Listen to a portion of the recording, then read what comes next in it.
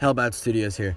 So as you can see, McFarlane's new summer showcase day was DC Retro.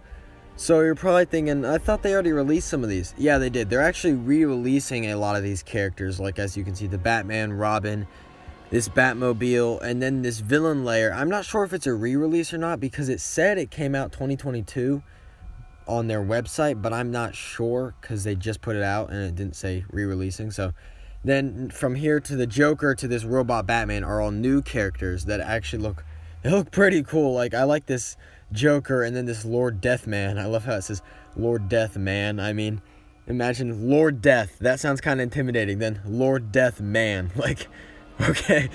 Uh, so this robot Batman actually looks pretty cool too. So the first thing we got here is the Superman. Now, it says that these guys are from the comic.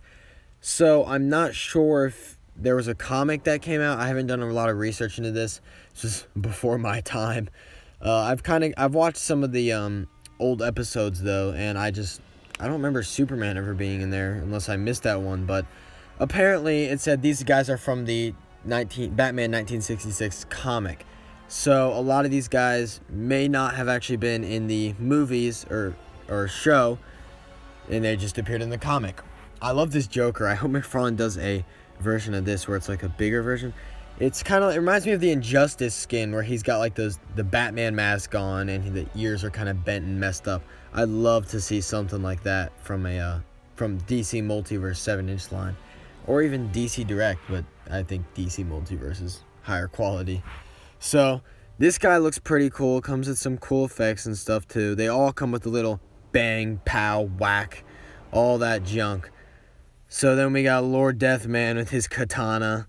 Thought he would have come with a sickle, but I don't know. I don't really know man, a lot about these guys, so.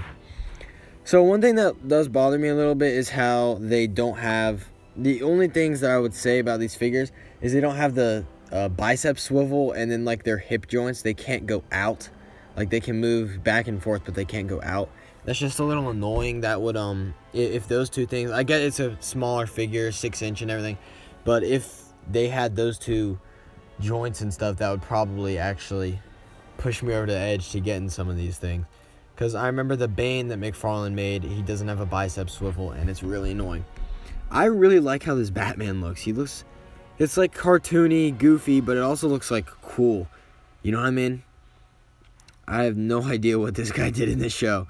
So I might sound a little ignorant about this. I'm kind of just rambling on here. So now this is the last thing that they've got. Uh, all of these will be up for pre-order in the description. Not sure if some of them are exclusives. If they are, I will do that. But you should go use my Amazon links. If you purchase these, it'll help me out and that'll be great.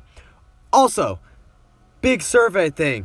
Announcing this in every single video. Go check the description. You'll see the survey. All it wants you to do is answer what your top three most wanted DC Multiverse figures are.